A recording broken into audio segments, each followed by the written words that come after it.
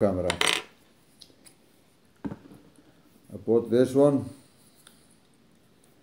GoPro Hero Session. Open it like here. You slide it out in the front. If you want to take a video, press one time here. Now we are taking a video. Turn it off,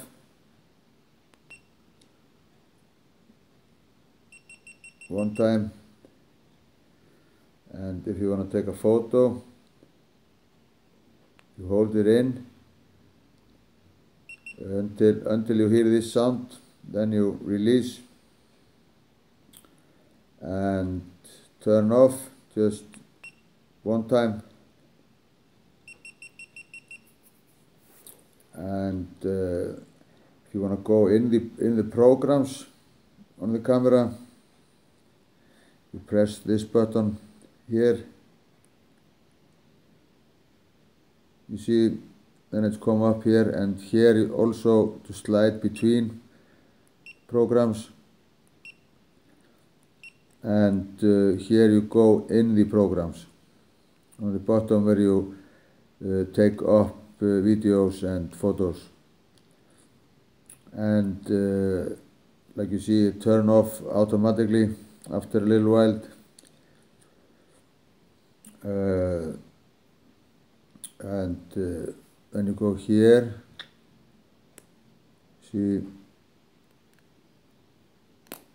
like here here you put the card in and uh, the wire for the computer to for the for the charging and also the same cable is for the charging and and for the for the yeah to put photos and videos in the computer.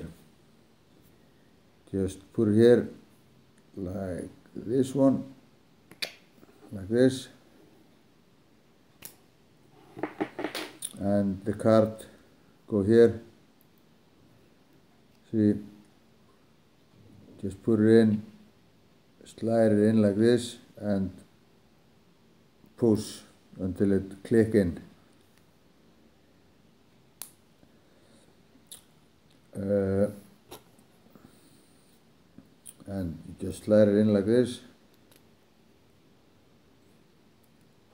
And lock it and the name hero have to turn. You have to read it like it's up here because it's down here. So the hero name if it's up then it's right in the in this one in this box here. Uh, yeah another thing I talked talked with uh, it's about uh, you know if you wanna just use the, the camera GoPro camera there's three cameras that you can buy. This one and another one uh, that's on the same size as this and another one with a, with a screen. And if you buy the camera with a screen you cannot use it in computers because uh, it's too see that camera is too pro for the computer.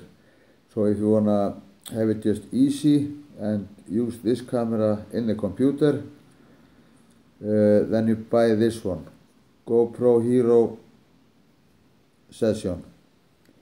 Not the bigger one because then you're to have a problem uh, when you're recording the videos in the computer.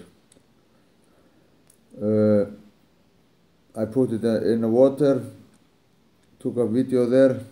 Very good. No problems just uh, a good camera in all ways so I was very happy with it and I am very happy with it